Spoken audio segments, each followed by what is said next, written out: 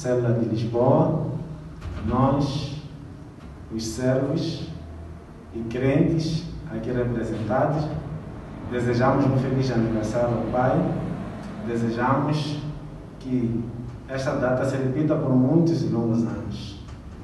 E falar do apóstolo Honório é falar de um servo de Deus que tem muito amor pelas almas e que o seu ministério tem um impacto transformador na vida dos crentes deste ministério e não só em todo o mundo.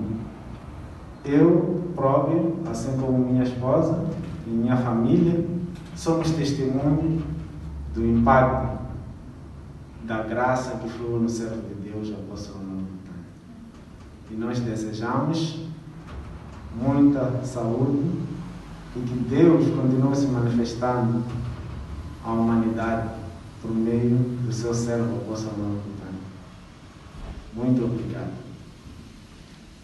Feliz aniversário, Pai. Que Deus te abençoe, Deus te prospere, que Deus continue te usando para ganhar almas e expandir o seu reino. Jesus Cristo É o meu